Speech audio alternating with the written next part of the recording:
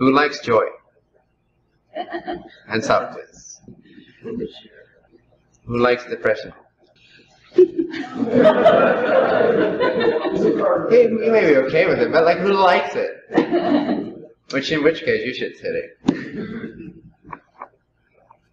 Why do you think that is? You think that's random? You think anything is random? Everything's intelligent. So why is it that sometimes you feel joy and sometimes you feel whatever the other side of joy is? Fear or depression. Sometimes you feel free. Sometimes you feel not free. Caged, hopeless, no way to go, depressed, nothing means anything anyway. Whatever. Why do some things in life, some activities, some people, some thoughts, some emotions, why do some of these bring you in a state of ecstasy? And why do some of these bring you in a state of depression? Deprived of joy, deprived of feeling connected. There is a reason. It's not random. And I know we'd like to dismiss it because it's too complicated to wrap our minds around. And it simply takes some time to start to understand this. It takes some time to understand what I'm about to speak about. So you may find some reluctance in yourself, which is fine. You can either go or sit in silence or do something for yourself or whatever works for you. Or you can save it for another time. when you do realize that there is a benefit to being happy, whether that's spiritually accurate or not, whether that's non-dually accurate or not, you realize that at some point, again, after the seeking has come and gone, there is a value to happiness. There's a real value to joy. Now, we all know, even our scientists, not that they're all the way on the bottom, but still, even our scientists, even our Newtonian scientists, I think, realize that everything in the universe works in terms of vibrations frequencies, rates of cycles, or in short, just vibration or frequency. Everything. Everything has a particular frequency. The wall over there is a particular frequency, which is why it appears as it does, which is why it has the color that it does, da, da, da, everything. All the properties of a particular expression of consciousness, or a scientist likes to call it matter, is because of frequency. This goes for everything. So there is no distinction between outside and inside. So this applies to your mind, as well as your emotional being. Now, the representation of a low frequency, as we know it, would be depression. And you can actually feel it. Even if it's not yourself, you can feel it if you're around people. I can feel it if I'm around people. If there's a, and I don't mind it. It's fine. It's beautiful. And I love it too. So don't feel like you have to manage yourself around me ever. But when you're sitting in a room with somebody that's like really depressed, or really angry or whatever it is, you all can feel the energetic effects that has on your whatever, your field of presence in this physical focus. You can feel it. It's a it's a low frequency distortion. It's like you're almost standing in front of a bass uh, speaker, you know, in those house parties they have. but not like a soothing om, more like a almost like radiation. And you feel they're poisoning their body doing so as well. It's just a low frequency energy. It's just out of alignment.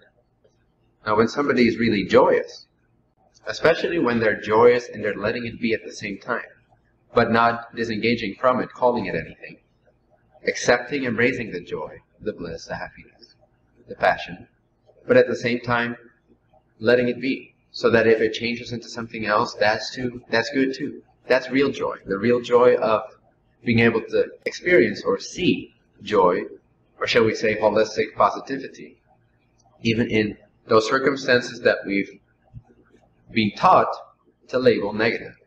That's real joy. When you feel that around somebody, you feel healed. You're healing. Ah, it feels aligned.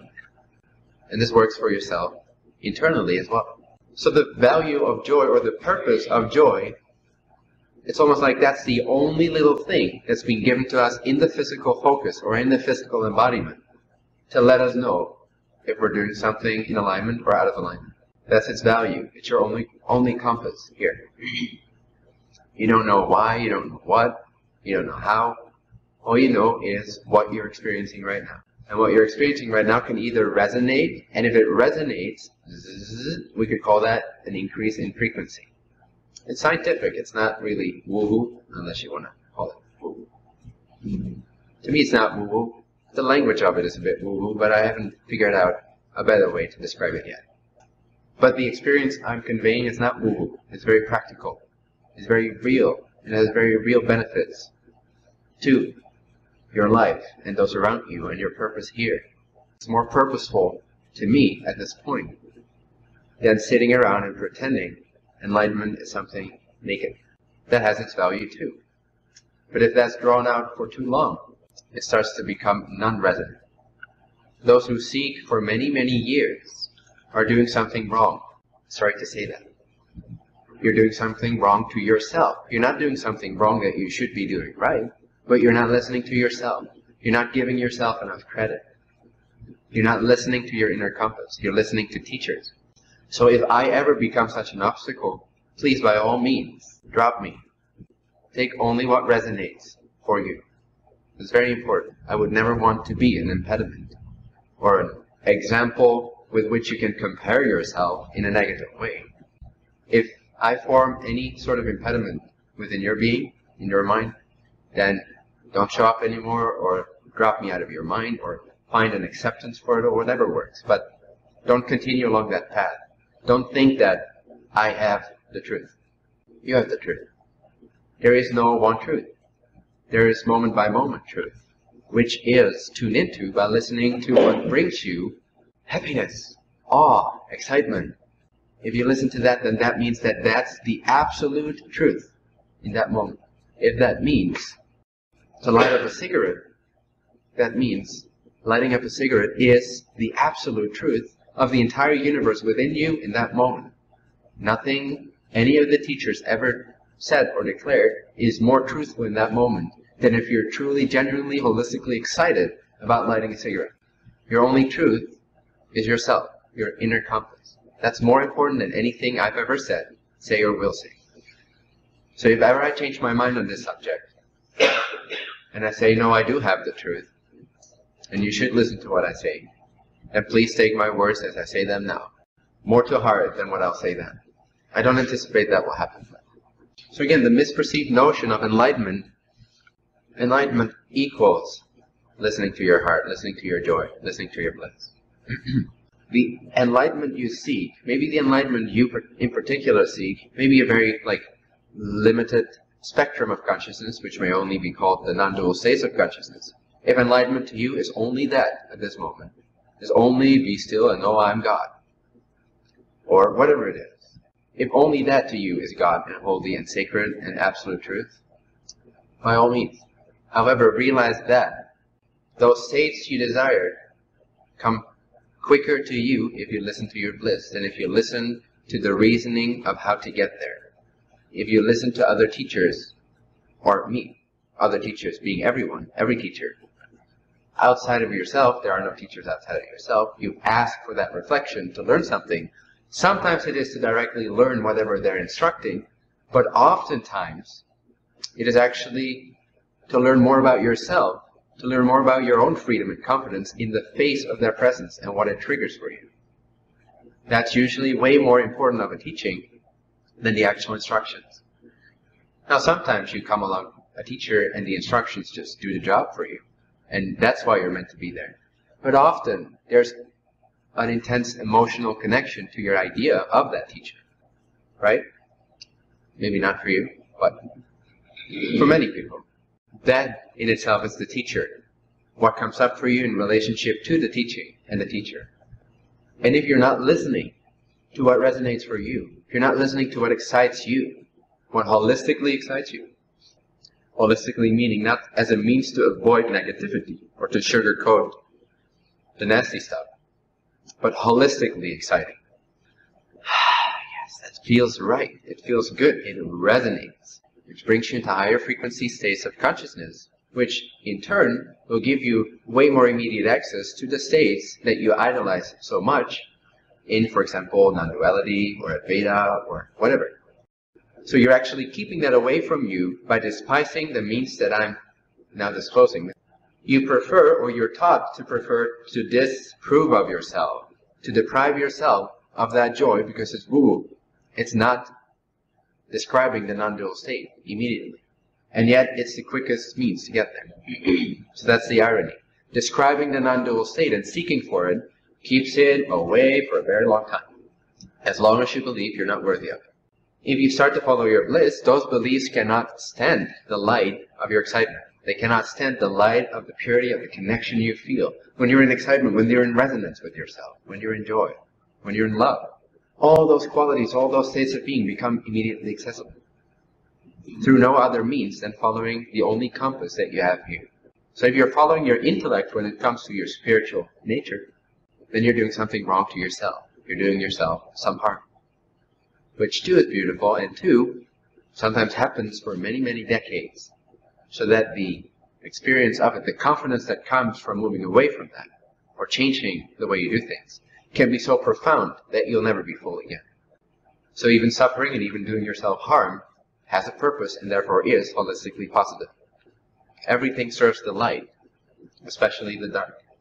That being said, would you want to prolong it consciously if you're aware of this process?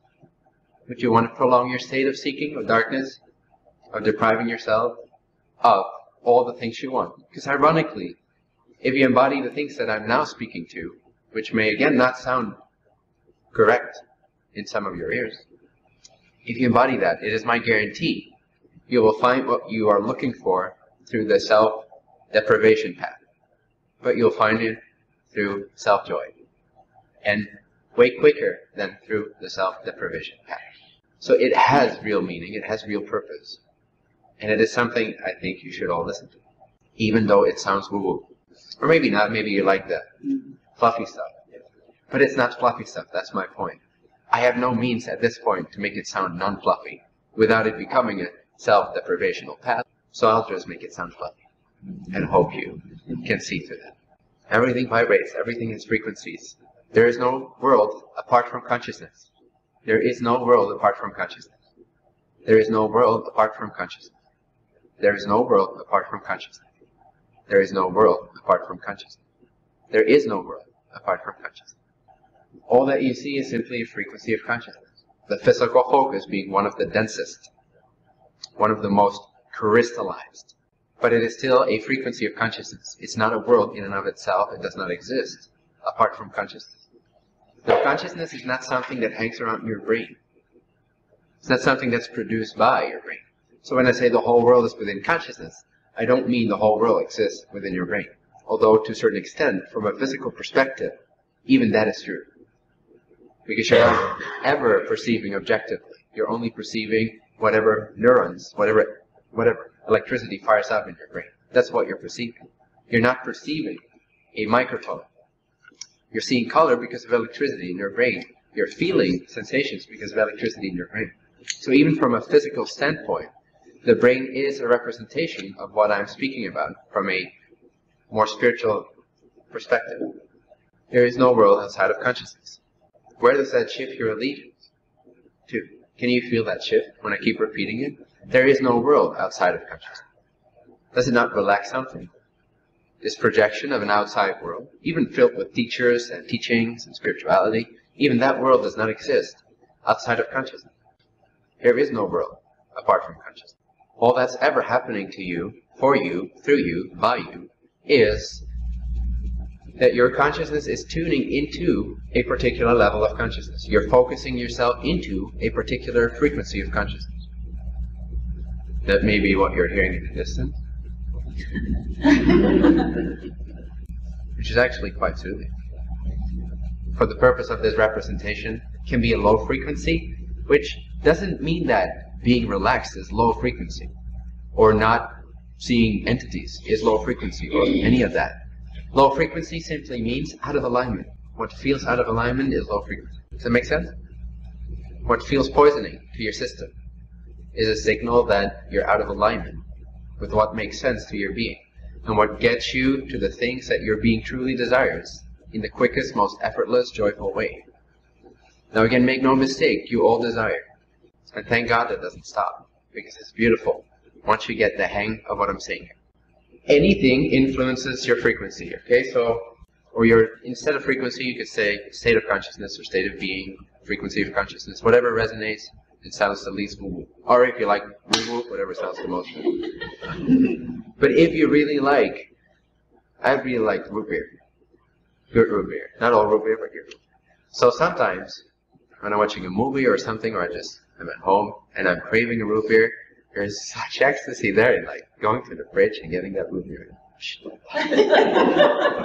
so in that instance, that experience of opening the root beer and drinking, oh, God, it's so good. That experience increases my state of being, okay? So every, what I'm saying is that everything around you, in that sense, everything within the illusion of consciousness has an impact on the frequency of your mental, emotional, physical being. And even on your state of being. If you let it. I let it in those instances. I agree. Yes, this is beautiful. This is, I'm in love with this movie. However, what increases your independence from what happens, what allows your frequency to become more and more independent from these things, is if you learn to deliberately focus your consciousness wherever you want to, whatever frequency you want to. Now, this could be equated to what I've talked about when I use imagination. When you're using imagination, not just to daydream in a subconscious way, but in a very conscious, deliberate way, when you utilize imagination, for example, who of you would like to experience the state of doubtlessness? Hands, please. Anybody? Doubtlessness? Imagine, just close your eyes for a minute, if you're comfortable with that. Relax, take a few deep breaths for yourself. Relax your body, relax your thoughts. Just come into, in a sense, come into your body. Come into your sense of being present here. Your sense of I am. Now imagine, imagine a light being.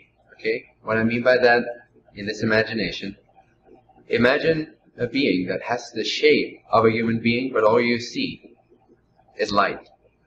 Blue, whitish light, or whatever resonates for you. All that's emitting from them is light. Just imagine that you meet such a being. If it makes it more impactful, you can imagine you're on the moon or somewhere spacey. Doesn't matter, have fun. The point being, imagine that this being, this perfect light being, approaches your vicinity. You see it in the distance. Walking on the surface of whatever planet you're on. And it's sort of floating toward you. Very peacefully. No disturbances whatsoever sensed in that being. It's 200 feet away, it's coming closer, and you're just marveling at what you're seeing. It's hundred feet away. The light is becoming brighter.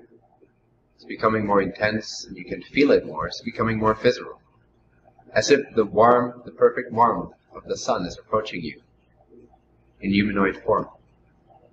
50 feet away, 10 feet away, 4 feet away. Uh, His being is somewhat taller than yourself, say seven feet, six, seven feet. And it's pure light. You can't even see facial features because it's just pure light.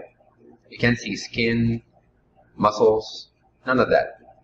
You can see the outline of a humanoid form, but it's made up of pure light. Now what you sense from this being, imagine that you sense from this being complete and utter doubtlessness. There is not a single doubt in this being's consciousness. In this sense, this being is an immediate extension of Source itself. It knows all there is to know. It has no seeking left whatsoever. It knows everything at all times, in all universes, in all times, all dimensions. It knows, it contains all of that. And yet what you experience is perfect peace. Complete and utter, shining, overwhelming doubtlessness. See how this light overtakes your body until all you can see is white. You're bathed in this whiteness of complete doubtlessness. Experience. What is that light's experience? What is that being's experience like? What would it be like to experience in this light that I'm being bathed in right now? Complete and utter doubtlessness. Imagine what that would feel like. Not a doubt in your mind anywhere, not even thinking about whether there is a doubt or not. You're so doubtless that you don't even consider any of these things. You're so beyond it. Complete doubtlessness. Complete confidence. The humblest of confidence is also just experience that light and its perfection, its doubtlessness. Again, what would it be like to experience from this being's perspective? To be able to freely roam the universe in whatever form, shape, or way you like.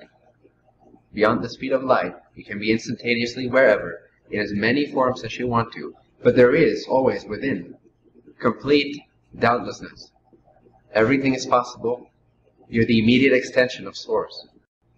What would it be like to experience that from within? To be that being, that light being?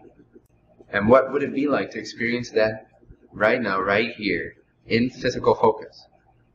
To remember within your heart, within your state of being, that doubtlessness as your own. You are an extension, an immediate extension of Source. No distortions, pure confidence, pure faith, pure knowledge, pure doubtlessness.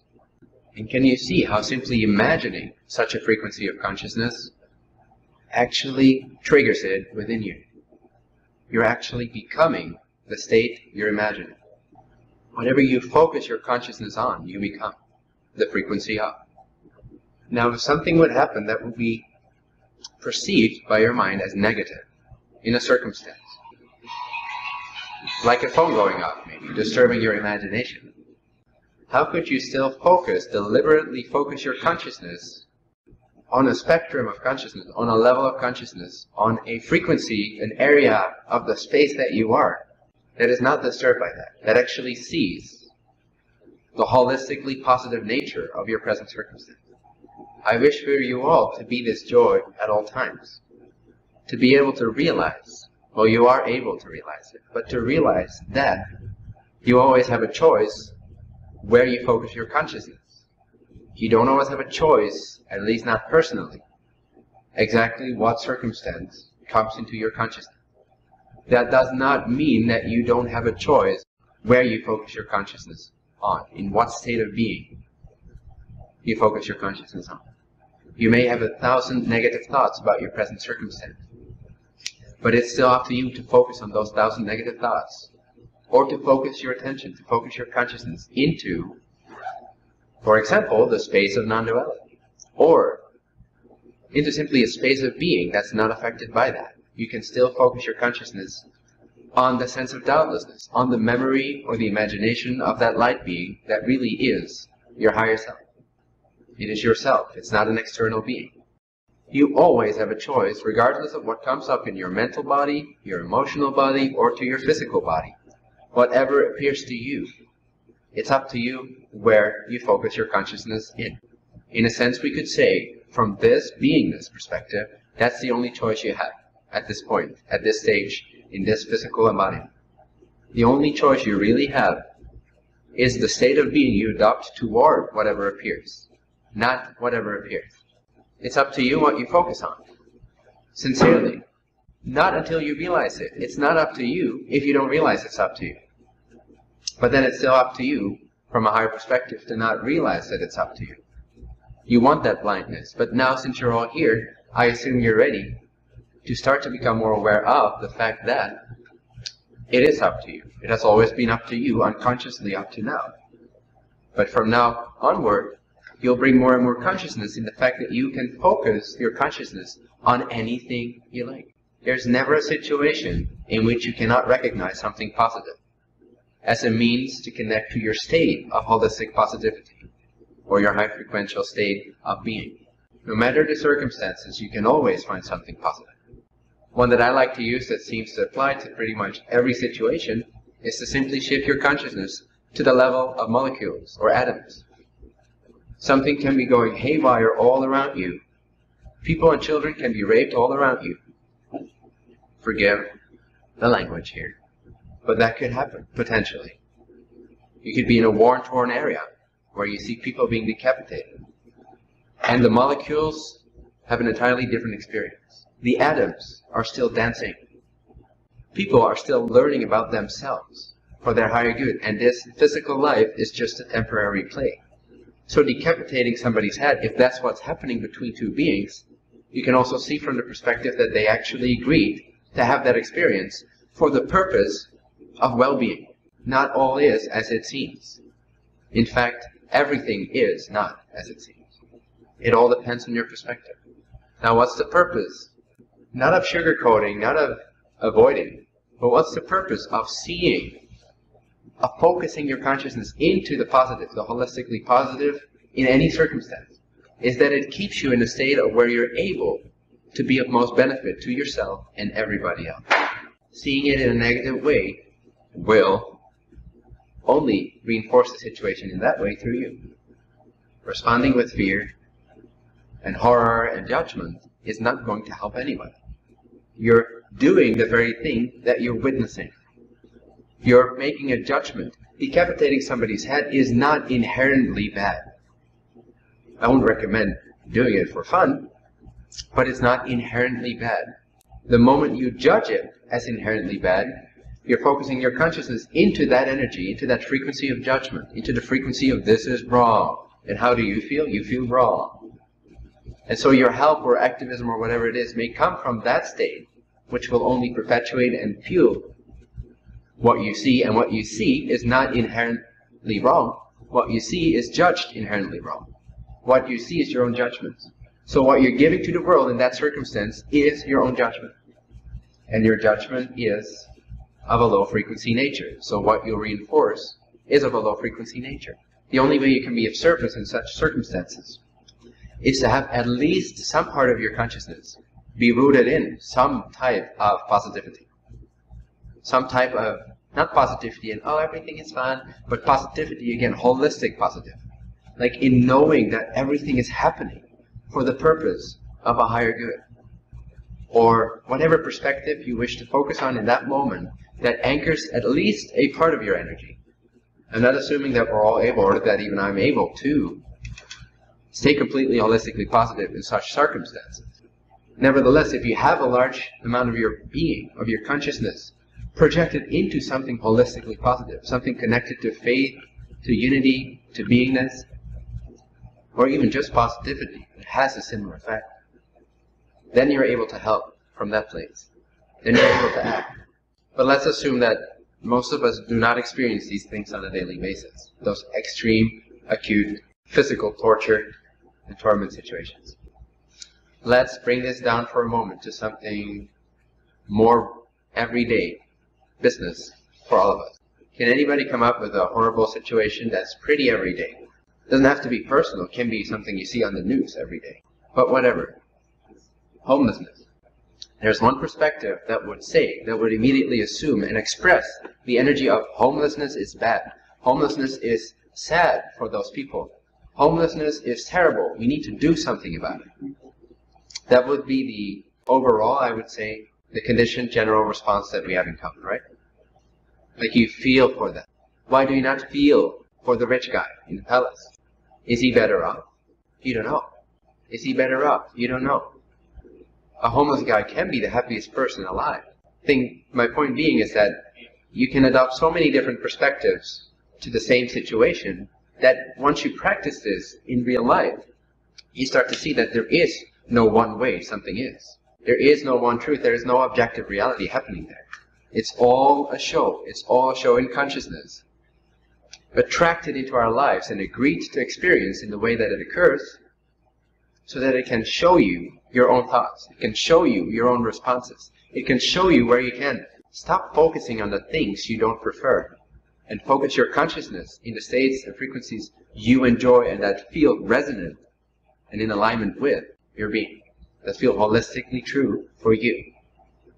When you do that, all the things that you desire through all the self-deprivational paths are going to be yours without the self-deprivation and way quicker.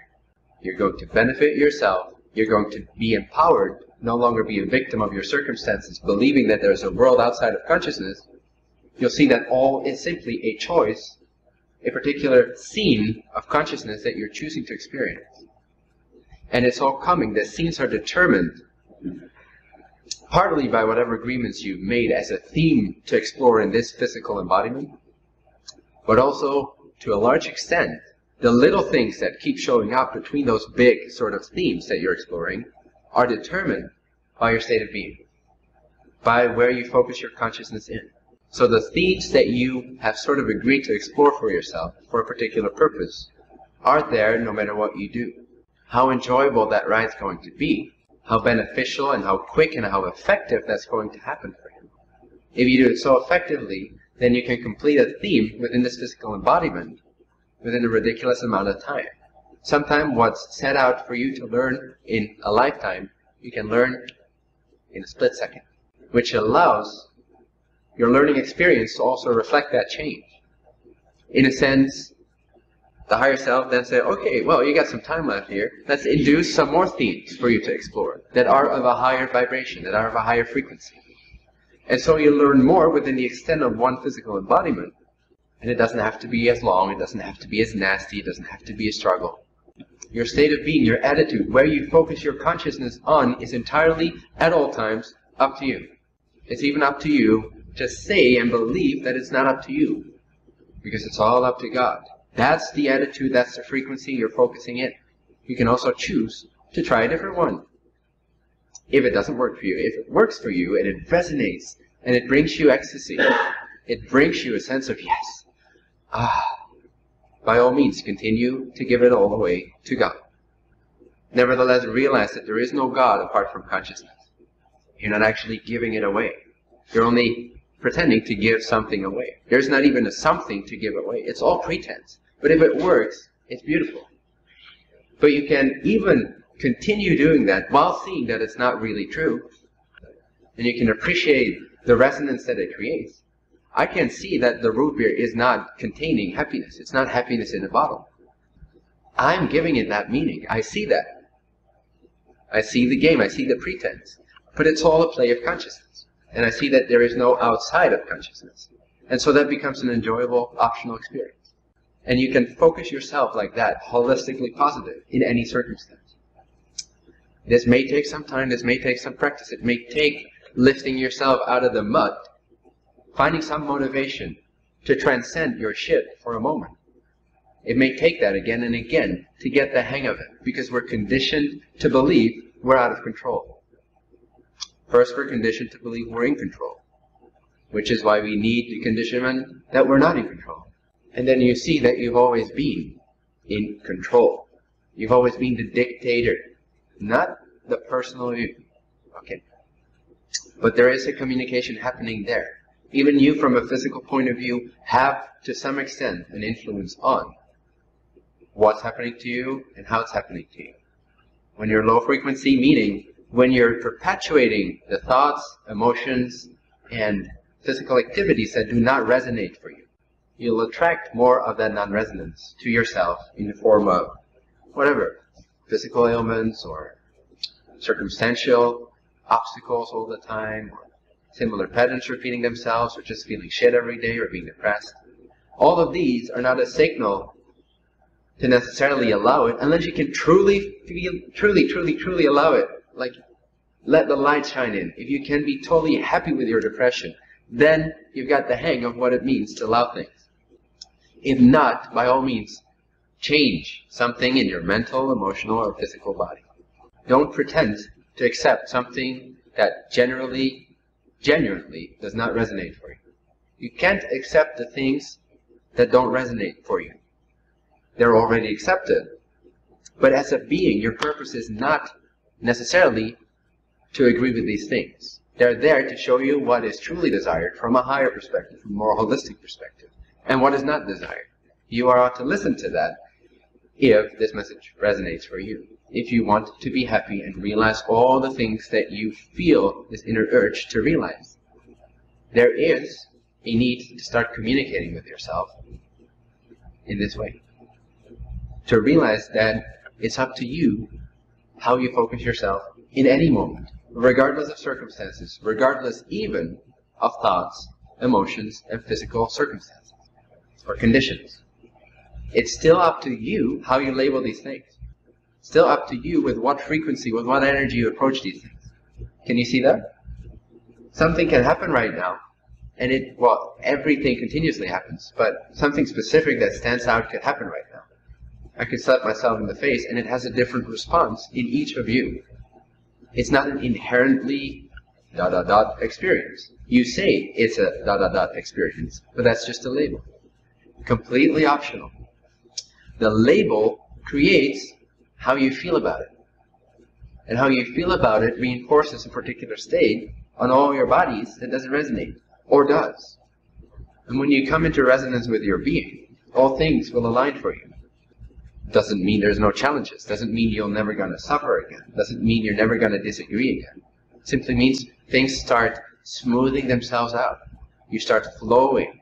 You start gaining the insights that you've always longed for, but kept away from yourself out of this need to be a non-person.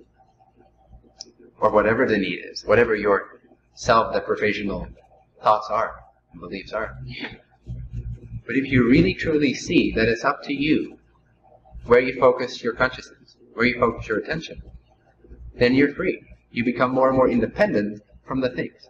If I describe that initial circumstance with the root beer like, ah, fulfilling me, if I would not have the experience of the natural acceptance of all things, of this freedom thing, beyondness, whatever, and if I did not have, maybe more importantly, if I did not have the realization that nothing exists outside of consciousness, and it's up to me where, in what spectrum, in what dimension, what level, what frequency, what particular area of consciousness I focus my consciousness into, I would probably be a slave to that root beer.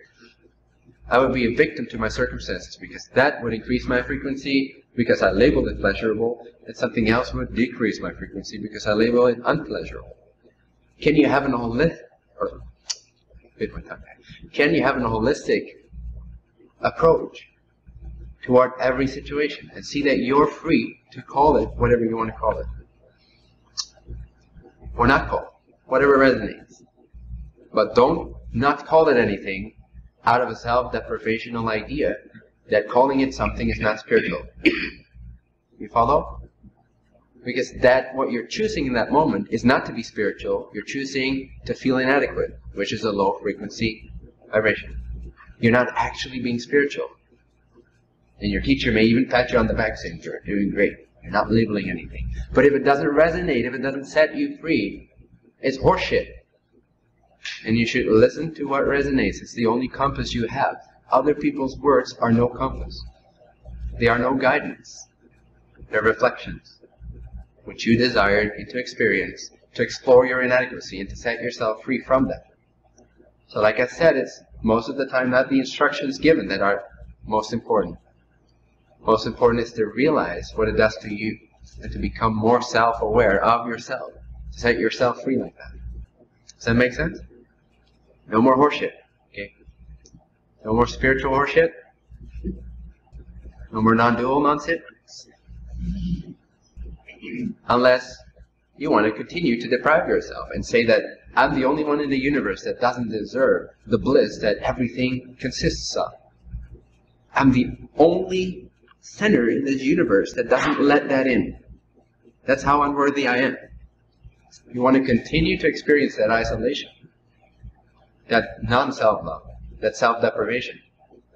If that's actually what you want, by all means. But now that I've hopefully made you more aware of that tendency, is it still what you want? You want it to be blind. Now maybe we've removed some of the blindness. Is it still what you want? Do you want to be happy? Do you want to pretend you don't want to be happy because it's not spiritual? Or whatever it is. Or because society doesn't allow it, doesn't condone it, you can't be happy without a reason. There has to be a circumstance in your life that everybody collectively agrees is positive before you can call it positive. If you call it positive before everybody else calls it positive, you're going to stand out in a negative way, and we're so afraid of that. Right? We're pioneers. It's your duty to be uncomfortable in society. You came here to rattle the cages. And yes, in that, there is a lot of learning for yourself. There's a lot of joyful, if you choose to see it that way, participation in relationship to your own beliefs. Sometimes it may feel like hard work. Sometimes it may feel like a breeze. But at all times it's your honor. At all times it's your bliss to be in the mess. It's your bliss. It's your chosen bliss. You freely chose it to be in the mess. You saw the mud. You knew exactly what was ahead of you. And you chose to dive in.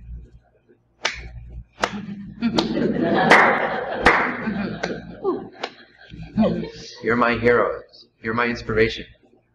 So explore this throughout this life and throughout the next few weeks and days, especially. Explore that moment where you call something by a certain name and see where that label comes from. And see if you can find that label in the inherent circumstance. Can you find it in the cells vibrating in that person that's being beat? That's being beaten? Can you find inherent wrongness in the atoms dancing? Can you find inherent wrongness in the air that's effortlessly surrounding that person that's being beat up? Or is it your label to call it, this is bad, this is really, really wrong, this is negative, this is so terrible, you, you, you, you, you, you shouldn't do that. Does that help anyone? Is that inherently true, or are you giving that to the world? The moment you judge something as terrible, even if it's out of a desire to do good, you're actually giving the terribleness to your environment. It's the moment that you believe in that judgment that you emit the frequency of that judgment. See that moment, catch that moment before you've entered into the choice to focus yourself down that narrow tunnel of what everybody else has taught you means this. This means that, this means this. This means good, this means bad. Free yourself up from good and bad definitions and see that the definition you give something, the meaning you give to something is always, always, always up to you regardless of what happens. If you can catch that moment, if you can be in that space of free awareness, free consciousness, where you're in tune with your being and your resonance, and you see whatever doesn't resonate, you don't have to focus on. You can never solve a problem by focusing on a problem. The irony is you need to let go of the problem so that it can solve itself. All you need to do is focus on what resonates. Include that which does not resonate, but focus on what does resonate, even in the inclusion of what does not resonate. Acceptance doesn't mean to agree with something as being your own. You don't have to adopt what does not resonate. You embrace, you include, you give your faith, your love to it. But by doing so, what you're choosing is not judgment, not fear, but you're actually choosing the love that you're giving. When you're loving and embracing and accepting a particular concept that does not resonate, you're not adopting the frequency of that concept, you're adopting the frequency of the love that you're giving it. So still there, too, you're choosing love. You're not choosing the concept, you're embracing. And so you stay in your frequency of being naturally. And it becomes more and more natural and less and less work. You become freer and freer and freer and freer and freer and freer. Imagine freedom beyond what you can imagine. And that's only a fraction of the freedom that you experience more and more and more. The human mind, especially the earthling's human mind, cannot conceive of happiness, ecstasy, bliss, perfection, joy, freedom, expansiveness. It cannot conceive of these things to a very true extent. So whatever you cannot imagine, imagine that and then know that even that is only a fraction. It's only a glimpse of the freedom that you are. To realize that is to more and more embody the frequency of that freedom. The freedom of choice, believe it or not, the freedom of choice. Not what appears. My hand is moving. But I choose what my frequency toward it is. I choose my state of being. I choose where I focus my consciousness. The more you realize this, the more it will be a choice, and the less you will feel like a slave. And you'll become a passionate, free, enlightened co-creator of the rest of yourself. You'll help participate yourself to free up and to have fun and to celebrate and to learn with the rest of yourself, which is all that is. It's all yourself. It's your own party. Explore. It's always up to you. Let this be a motto that you can either resonate with or not, but see if the non-resonance is resistance to the idea or if it really doesn't resonate. Because if there is resistance to the idea, it does resonate. That's the secret. If something feels like you're resisting it, it actually resonates. But you don't believe it's possible, you don't believe it's worth the effort, you don't, whatever you believe. But if you resist something, you feel a resistance, because you believe there's some truth to it, which means it resonates to you. If something truly doesn't resonate with you, there's a clarity there. It's simply that's not the frequency I prefer, and there's nothing in there for me to learn. What's in there for me to learn is to accept it from right over here, to send it love from right over here, and to choose my own state of consciousness from right over here. So let this be the motto for exploration during the next few weeks, if you will, if it resonates. It's always up to me what I call something. In other words, you'll see that is that it is synonymous to it's always up to me how I feel about something. Not what you're feeling, but how you're feeling about what you're feeling. It's up to you. How you consider it, from what perspective of consciousness you're approaching it. It's always up to me where I focus my consciousness. Now that is empowerment, not control. That is free will. But free will only comes with an increasing consciousness. You're only free to choose to the degree that you're conscious of the fact that you are choosing all the time. When I'm not aware of that, I too don't have free will.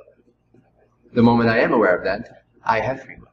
It's still the free will to be blind to it, but then from a conventional perspective, it's not free will anymore, or it doesn't feel like it, doesn't appear like it. I just appear like things are happening.